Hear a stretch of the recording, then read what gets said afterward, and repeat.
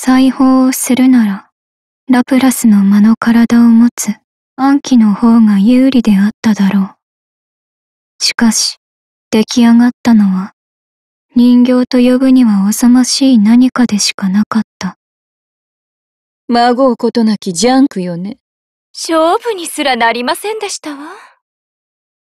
水銀島とかぐや姫の呆れたため息に、暗記は感触を起こす。不が言い上がりますね。そもそもお前たちが戦わないから。そう叫んだ瞬間だった。ラプラスの間の体が光を帯び、立ちどころに暗記の魂が離れたかと思うと、作られた暗記人形の中へ移動したのだ。ブラボ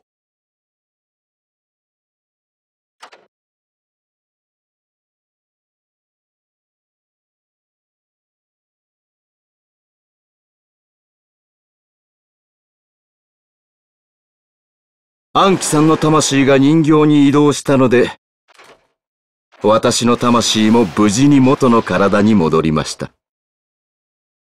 アンキ、うる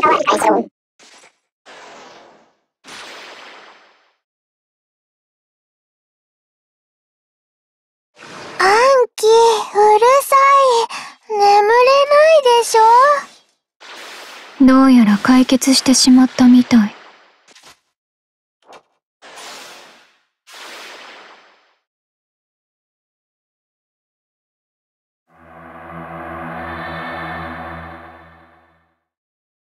誰も傷つけずに済んだようでよかった。私は少し物足りませんが。変態は総成績に近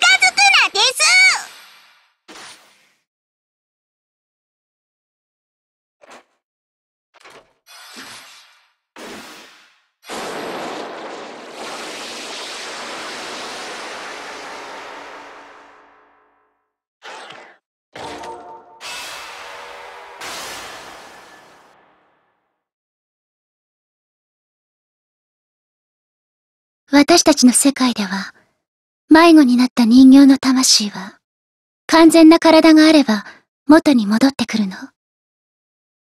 ラプラスの間は、それを利用して迷子になっていた暗記の魂を人形に移したのね。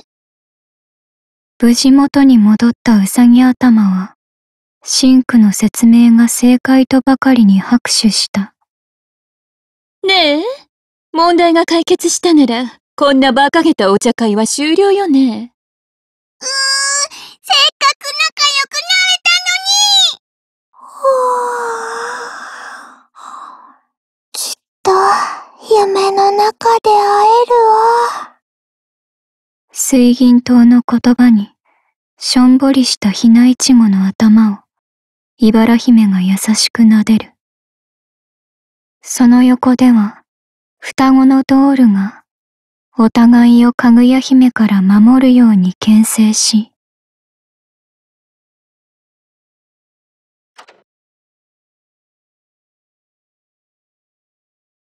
ありがとう、アリス。お茶会楽しかったわ。あなたたちも頑張って。あなたも、お父様に会えるように。シンクとアリスは握手を交わし、こうして、キャラクターズとローゼンメイデンは、互いの世界へと戻っていっ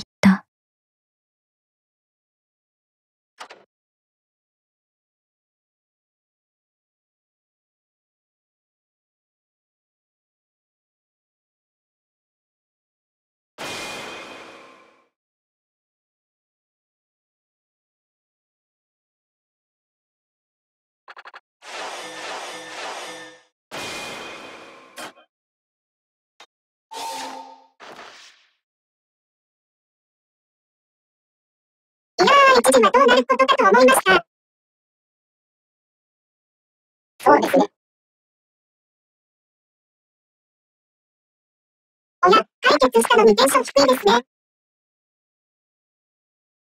ラプラスの間に全く叶わなかったからとかは、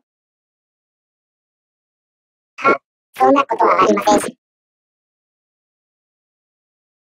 私はコラボ先を立てただけですし。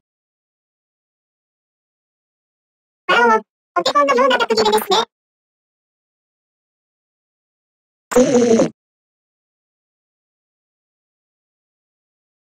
そういえば、今のアンチの体。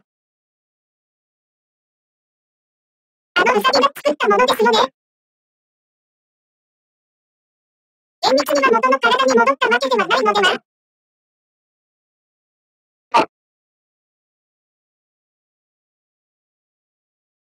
あなた、本当に本物のラッキーでしたね。リスン、ラジオ。くせ、くせく。赤さん。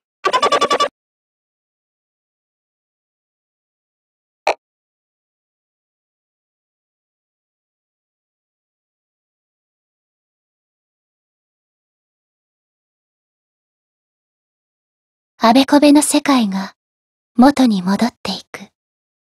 近しい世界とは厄介なものですね。ふん。まあ、この騒動ももう終わりと。中身と体が一致したラプラスの間が、人知れず、そっとため息をついた。その時。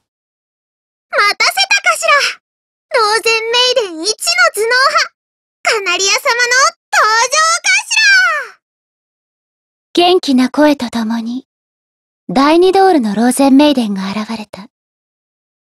変な人形たちが現れたと聞いて、慌ててやってきたわ。あとはこのカナリアにお任せあれなのかしら？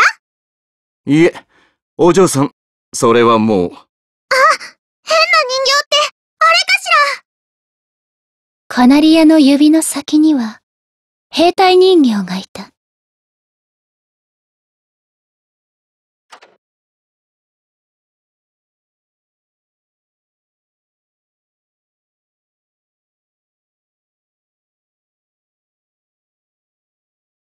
なんじゃお前は。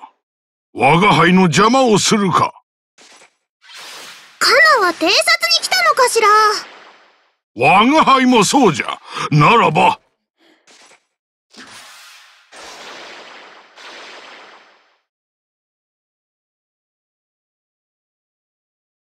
我が輩を敬え、たたえ、崇めるべき。な、なんでかしら？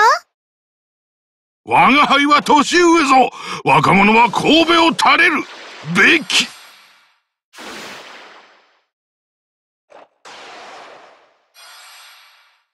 一気に決める？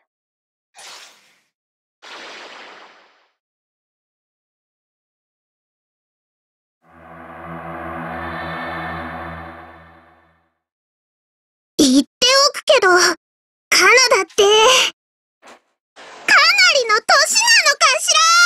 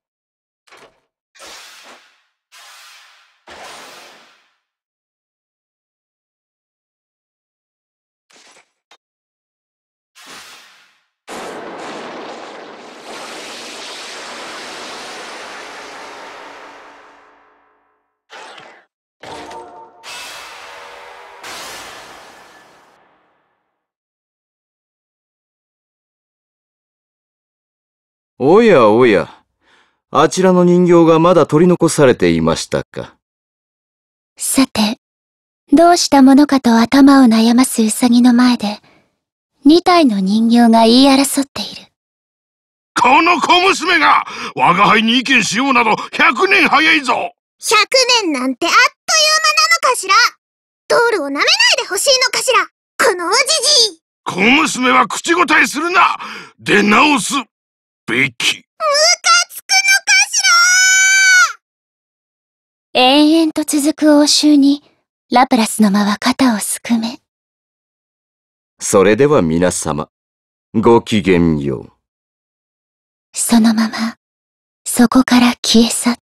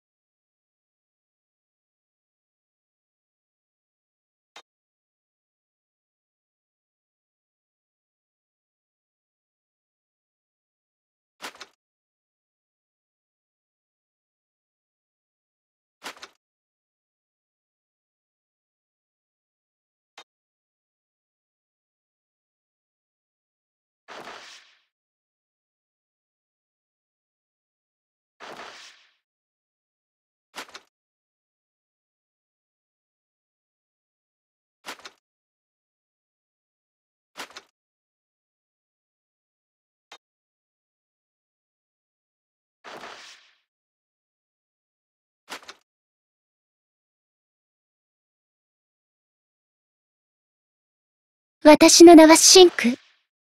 ローゼンメイデンの第五ドール。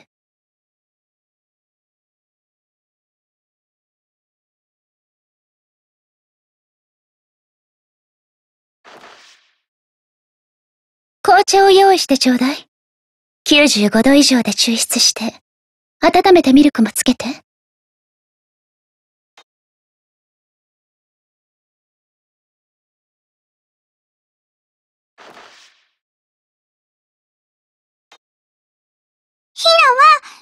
白くて、ふわふわの、